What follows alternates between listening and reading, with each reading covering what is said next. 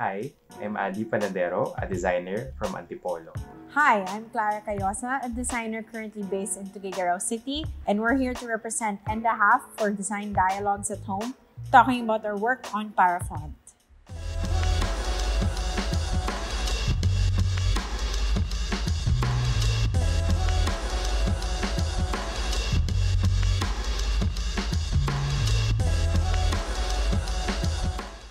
I learned to design type at and a half. Before that, medyo na-intimidate ako sa kanya since I thought that you had to study it before doing it. But eventually, I learned from the job and with the help of my colleagues who are excellent type designers themselves, natuto rin ako mag-design ng type. In And A Half, I learned how type is pivotal to any visual identity or graphic design work. I'm really fascinated by how the simplest forms and shapes can contribute to a whole. It's fun to push the boundaries of letters and creating interesting form in type makes you question what makes a letter a letter. I also feel like it's a very condensed form of illustration, which is what I usually do. Para sa akin, I find it interesting how a small nudge can transform a shape into a unique letter form. Last year, my interest in type solidified after I co-organized Tipong Filipino exhibit together with Vince Africa, showcasing typefaces inspired by our cities and day-to-day Filipino life. We always brainstorm with the whole project team when beginning the design process. So usually, this is when we determine how to attack a certain project and if custom typography is the way to go. Sometimes designers would take some time sketching and mulling over their ideas by themselves. Or minsan naman, the work's already started and in the middle of the execution, they realize that, oh, this project could use custom typography. Iba-iba siya and usually it depends on how the designers would attack a project. A big factor though is the brand story. For me, if I think that a brand's name is quite common, I'll try making custom type to see if it will make the identity a bit more distinct. Pwede rin na if the brand's name is loaded with a story, custom type can sort of signal the story we're trying to tell. Minsan naman, if you feel strongly inspired by a brand story, we will make a whole typeface complete with characters from A to Z, and sometimes even numbers. Usually this happens when we have a very specific story, mood, or idea that we want to communicate through type.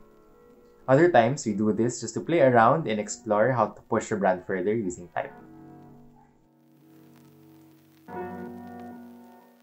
So here are our steps as a team to making Parafont. Step 1 is ideation. We first brainstormed as a team for the overall idea that would guide us in designing the typeface. When we were conceptualizing Parafont for the exhibit, we always had the application in mind. Napansin kasi namin that all around us, there's beautiful typography. Just look at the signs in the jeeps, tricycles, or pedicabs. And these signs have been documented really well in the past years, especially by the designers who made them into fonts like Aaron Amar. But then, when you step on an MRT station or mag-abang ka ng bus along EDSA, parang may disconnect yung hand-painted signs dun sa signs in Arial or Helvetica na minsan stretched pa. We thought, what if the signs in the MRT or even sa sakay ng bus at trike had more personality? What if we create a font for wayfinding that has the same spirit as our existing Filipino type traditions, but without being a display font? We believe and we understand that the fonts used for these signs should be easily readable and easily applied. But at the same time, naisip namin that that shouldn't stop us from injecting a bit of our existing type traditions. After all, mass transport should be a system, and we thought of Parafont as sort of a way to bridge the typography in trains and buses with the hand-painted signs in jeeps and tricycles. We thought that it could be an opportunity to create a font that captures the spirit and existing type traditions of the places that they're going to be applied in without being an actual copy. Kaya rin namin naisip yung word na para. Kasi di ba yung sinasabi natin if uh, bababa tayo or sasakay ng vehicle. And nagamit din namin siya sa wordplay in that para font, para siyang hand-painted sign, pero parang hindi. Para siyang display font, pero parang hindi. Step 2 is inspiration. We looked at references like the Filipino Folk Foundry book and took inspiration from actual stroke gestures, which involved actually painting and trying them out. Step 3, of course, is execution. Eventually, when it was needed to have several people working on the same typeface, we assigned certain characters, so uppercase, lowercase, numbers, punctuation marks. Step four, and I think this is very important, type critique. In my experience, the longer I work on a typeface, the harder it is for me to spot the little inconsistencies, which is why it is always helpful to open up to having other sets of eyes look into your typeface. A good tip is to print out your proof or sample application and check if there is rhythm to the flow of letters. Dito namin nakita kung ano yung mga letters na bida-bida and to adjust them accordingly. Step 5 is application. We tried Parafont on sample street signs such as tricycle price table, LRT station sign, and bus station.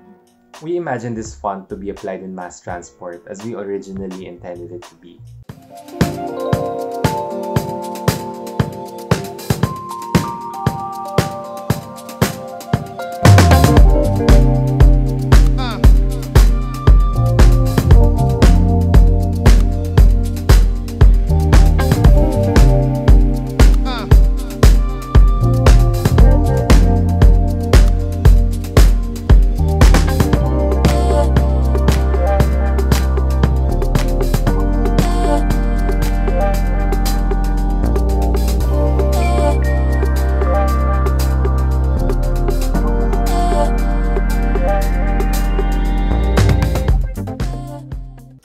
Is available for download and purchase on our site, and-a-half.ph. Go to the bottom for the link where you'll be redirected to our Gumroad page. We hope you like it! We encourage everyone to try this font out, especially since it's so easy to access. We still encourage everyone to play around with Parafont. After all, the forms of letters mean different things to different people, and it's going to be exciting to see how different people relate to those forms. And in turn, may kanya-kanya rin tayong style ng paggawa ng type and pag-design ng letters. Up next, we have our friends at Together We Design to talk more about their work and experience in designing and applying type. Again, I'm Adi Panadero from Endahaf, working from home here in Antipolo, And I am Clara Cayosa from Endahaf, working from home here in Tuguegarao. and this, is Design, Dialogues at Dialogues Home.